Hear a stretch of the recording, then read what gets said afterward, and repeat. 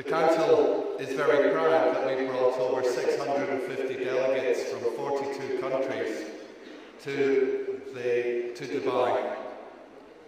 I'm not sure what the final attendance numbers will be, but, but it, should be close to a thousand. Uh, so you can see there are a few hangovers this morning. Uh, at this particular time, it is good for all of us to develop a greater knowledge and understanding about this part of the world. I, for one, have been very impressed by how there are so many more connections rather than conflicts in the way that people think. So I hope that we will take back to our countries the connections that we have made here over these three days.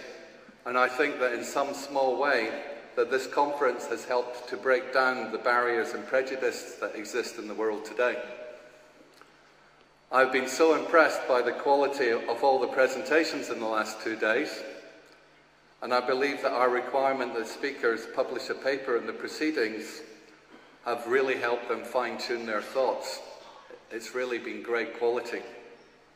The proceedings themselves should also make a great reference book for the future and should help us build on the wisdom that we have heard here today, in the last couple of days. In six months' time, these papers will all be online and everybody can search them. It's a, a, a free source open to all. Uh, on your seats this morning, you should find uh, a yellow form, so we're looking for your opinion of the events. Uh, you've just heard mine. So please then fill in the yellow forms and hand them in either at the front desk to MCI or to the council booth. In particular, if you're willing to work hard and be more involved in the council, and when I say work, I mean work, then please make your suggestions on the form on where and how you can help. We're always looking for volunteers. Over the last few days, we've, we've examined the issues of urban sustainability and mega projects, and we've looked at the big picture issues Today we're going to be talking about tall buildings, articulated towers and sustainable towers. I really like to start off, um, in particular Lee Morris's presentation, which described how the world will end if we do not change our ways. A sobering and frightening description of what might happen if we do nothing or if we do not do enough. I thought it was a superb presentation backed up with science.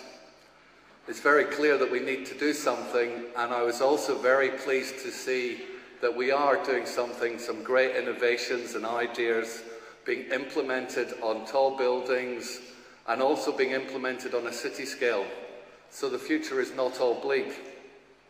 In the last five years, the application of sustainable design has gone from the periphery of what we do to mainstream. It now applies to nearly all the buildings, and it is frequently the main driver of design. So what will happen in the next five years? In five years' time, we will move from LEED, which is leadership in energy and environmental design, to LEAP, which is leadership in energy and environmental performance. In future, we will have data on all buildings, particularly on all Class A buildings, on their energy use and on their water use. And consultants will be able to help building owners make sure that their best of their ability. What really matters is how buildings are operated and how they perform, rather than how we design them. Design is only the start. In places like Dubai, water and energy are pretty much the same thing. They have a related carbon footprint. And in future we will be able to choose our hotels by their carbon footprint per room per night and we need to make these changes take place.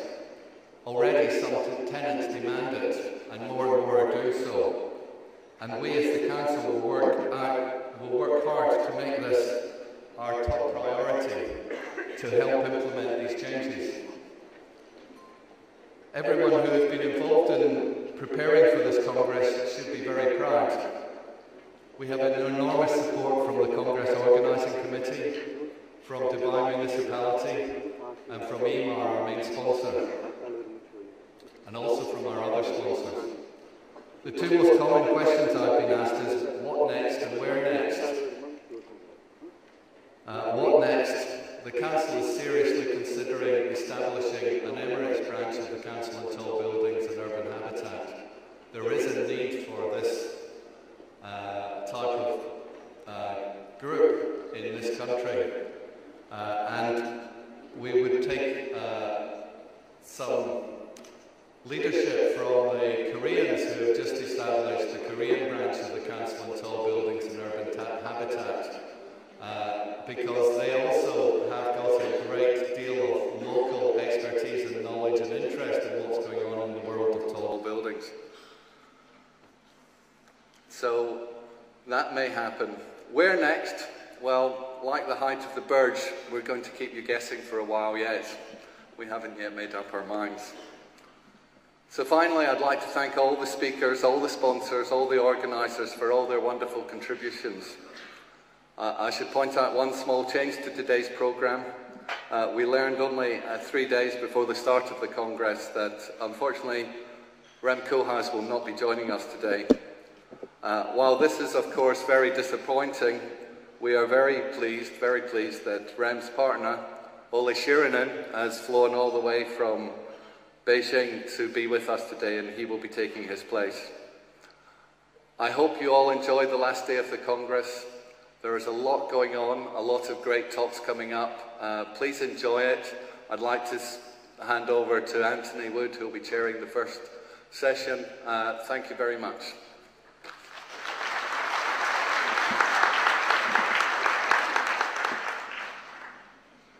Okay, thank you, David. Um, just a few points of order before we get started on the session today. Um, you all got feedback forms on your sheet. David mentioned that on your seats. Is that correct? Yellow feedback forms. Could you please, uh, we'd encourage you to fill those out, and could you please hand them back to any members of the MCI staff or alternatively Geri Kery at the uh, CTBUH exhibition booth. It's the last day of the Congress. I don't know if you're all aware, think perhaps some people aren't, but we do have a number of papers that we just didn't have space to give an oral presentation slot to.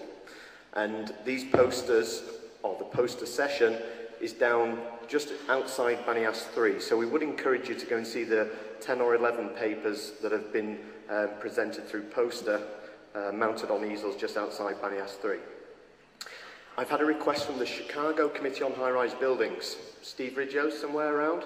Uh, apparently, you're all here, or most of you are, about 20 of you, and Steve wants to organise a photograph at the first break. So members of the Chicago Committee on High-Rise Buildings, I suggest that you all assemble in the conference lobby at the first break, please. Quite a few people have asked us about the AIA forms for continuing education credits. Sorry, this is a bit boring, but uh, all the AIA forms should be in your bags. If you want to get a certificate or whatever you need to get for that, you, you need to ensure that you fill out those forms and give them back to Geri Kery in the uh, CTBUH booth before the end of today, so she can follow up on that. And talking of Geri,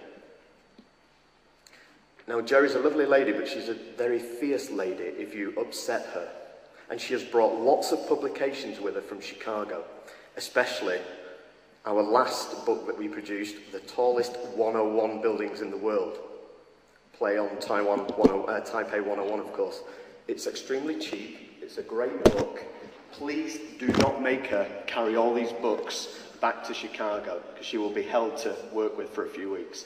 So if you've not already gone and seen the CTBUH exhibition booth, please do that. Meet Geri, We've got free copies of the CTBUH Journal for anyone who's not had that. Members should have had that, of course. Paper copies of the last two editions of the journal and lots of other great stuff there.